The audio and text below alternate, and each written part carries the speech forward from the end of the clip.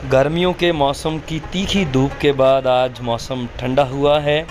हवा भी बहुत ठंडी चल रही है और रात को बारिश हुई है।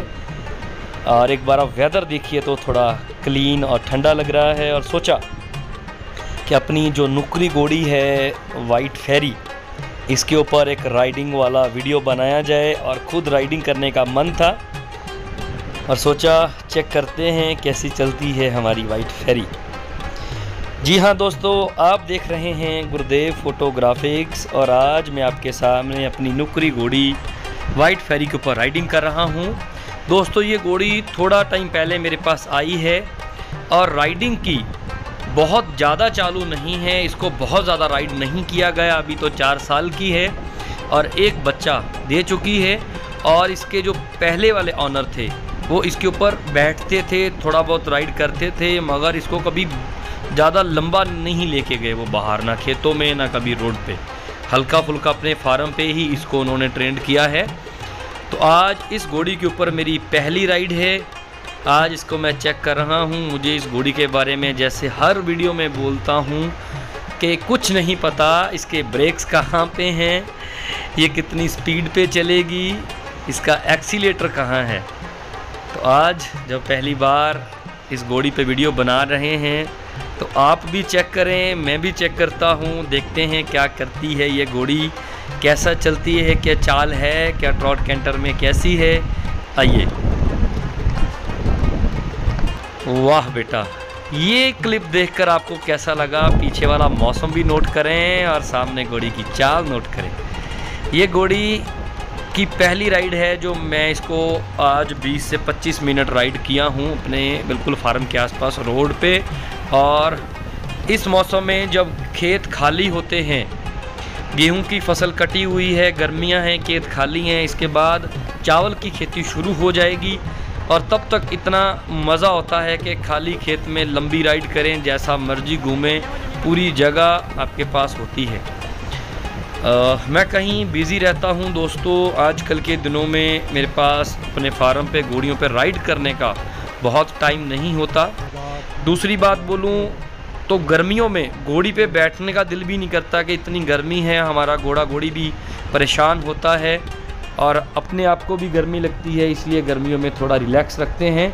मगर कल भी ठंडा था, आज भी बारिश हुई है, इस वजह से जब ठंडी हवा का झोंका लगा तो दिल किया कि एक बार घोड़ी पे बैठा जाए। हर बार जब भी मेरे फार्म पे नई घोड़ियाँ आती हैं तो मैं सबका एक अच्छा सा राइडिंग वीडियो बनाता हूँ। मगर इस बार मैं लेट हूँ। ग्रे घोड़ी भी मेरे पास पैंसठ इंच की आई है, जो अभी 9 से 10 महीने की प्रेग्नेंट हो चुकी है। उसके ऊपर भी मैंने एक छोटा सा क्लिप बनाया, जो मैंने पिछले वीडियो में दिखाया, मगर लंबी राइड नहीं की।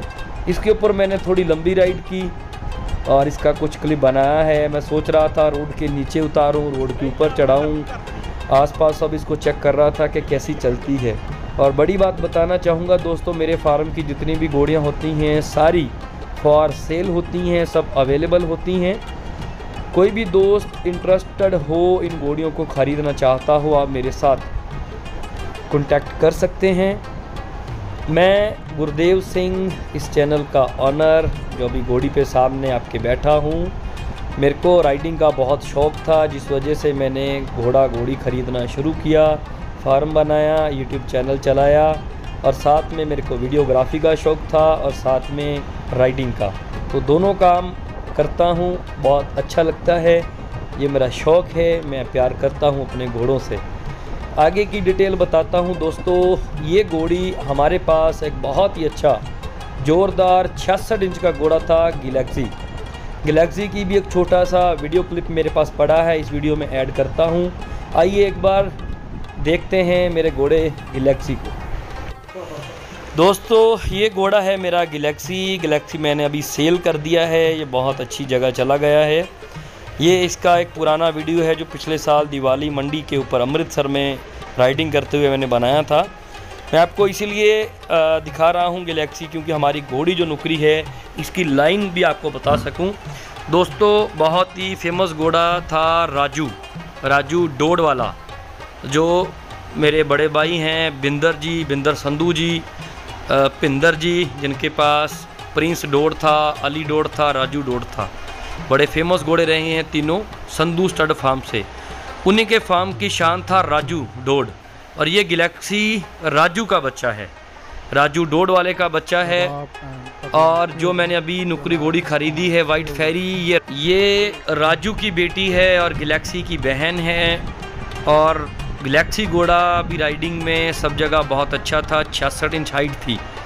और इस समय जो मेरी घोड़ी है वाइट फेरी, इसकी चौंसठ इंच हाइट है। और ये राइडिंग आज हम कर रहे हैं, पहली बार इतना लंबा। तो आइए मेरे साथ राइडिंग को एंजॉय करें, देखते हैं क्या कुछ करती है लास्ट तक। बने रहिए मेरे चैनल के साथ। आप देख रहे हैं गुरुदेव फोटोग्राफिक्स। Thank you.